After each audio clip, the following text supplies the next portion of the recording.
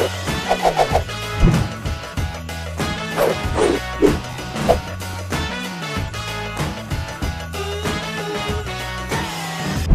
Witajcie w waszej kolejnej ulubionej serii na Just Freestyle. W dzisiejszym odcinku 6 sposobów na ciąg dalszy trenowania basiców. Rozwój basiców, czyli podstawowych kombinacji w stylu R jest niezwykle ważny, jeśli chcemy podbijać zaawansowane kombinacje oraz podbić triki, w których skład wchodzą dwa lub nawet trzy kółka.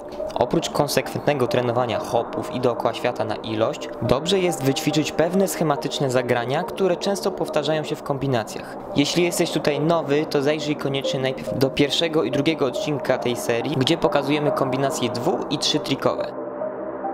Dzisiaj podwyższamy poprzeczkę do numeru 4. Komba czterotrikowe. Dasz radę? Zaczynamy. Na pierwszy ogień pójdzie kółko, half, kółko, hop. Czyli wyrabiamy tutaj przejście za pomocą halfa do drugiej nogi po serii dookoła świata na jedną nogę. Całą akcję zakończamy hopem. Pamiętajcie koniecznie o rozwoju obu nóg. Zatem wykonajcie tę kombinację raz od prawej, raz od lewej nogi. Dwa kółka, dwa hopy, czyli można powiedzieć, że jest to taki standard kombinacji u osoby, która gra jedną nogą. Na początek dobrze jest opanować to czterotrikowe combo, a potem spróbujcie to zrobić zaczynając dwa kółka od słabszej nogi. Skoro potrafimy już kręcić dwa kółka zarówno na lewą nogę jak i na prawą, to sprawdźcie się w takiej kombinacji. Kółka na słabszą nogę mogą sprawiać nieco trudności, więc postarajcie się je wypracować, a wypracować je możecie kółkami na ilość albo właśnie takim ćwiczeniem. Raz zacznijcie od lewej, raz od prawej. Czwarta kombinacja czterotrikowa Atw, hop, hop, powrót. Można powiedzieć, że jest to kolejny powszechny standard grania kombinacji. Spróbujcie ten schemat wykonać jak najwięcej razy, a potem spróbujcie robić to z powrotem na słabszą nogę.